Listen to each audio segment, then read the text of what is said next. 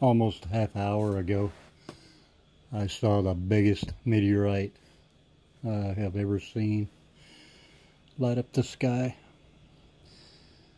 Came in approximately west of me and went towards my north before it uh, broke up and uh, finished burning up. I was on a ATV on top of the hill without too many trees uh, around, so it lit up pretty good. The whole sky, I could see everything. Anyway, from about uh, 10, 11 o'clock high to my west, to my left, it came in, my guess is well over 30,000 miles an hour. It was way faster than escape velocity anyway. Uh, so I'm guessing that's 17,000 miles per hour or more. So it had to be at least 30 to 50,000 miles an hour the way it came in, the speed in which it went across the sky. Anyway, it uh, came in, like I say, 10, 11 o'clock high on my left side due west. Went towards my north and uh, maybe passed over to the north northeast just a little bit. Broke up and shortly after it broke up everything with the smaller portions looked like they burned up faster and then the larger one just flashed out. Uh, kind of reminded me of watching uh, videos on the uh, Russia meteorite. Happened back in, I think, February 2013. Only a lot smaller. The report, the sonic boom, if that's all it was, it was uh, kind of strange. It didn't sound like a, a sonic boom from an aircraft. Uh, it sounded more like four or five sonic booms, two larger with a few broken smaller mixed in. The final report was the loudest. It was uh, more like a grumble boom, bunch of booms together, but it uh, sounded almost like a grumble except the two louder reports.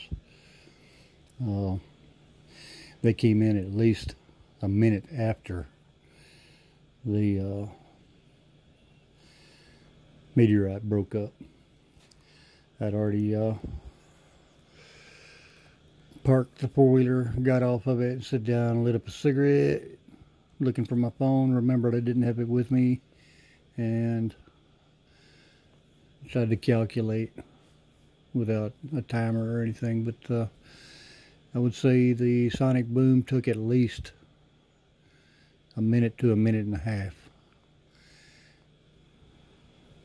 You know, I'm guessing that meteorite probably a hundred miles. Never did get within a hundred miles of me, so 80 or 100, something like that. But uh, like I say, the report wasn't real loud. As sometime like thunder in the distance. Only you could tell it was uh, two separate reports and it was not thunder. That was sure. The only thing I've heard near that would be up north, northwest, up in uh, where they do the strip mining. I've heard uh, rumbles go off similar when they do the blasting for strip mining or whatever. It didn't sound quite like that, but because there was only two uh, two louder reports.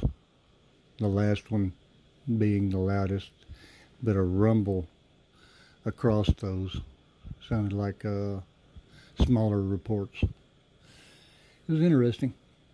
Happened about 9 p.m. Uh, today. Get a date here, July the 25th. Near, I'll just say Tyler, Texas. About 80 miles east of Dallas. We'll see if anybody else heard it. I'm, I'm guessing people up uh, north of here, between here and Oklahoma, had a lot better sonic boom from it. I don't think it's low enough to do any window damage or anything like that, even if it were up there, but we'll see. Be watching YouTube, see if anybody else is going to talk about it.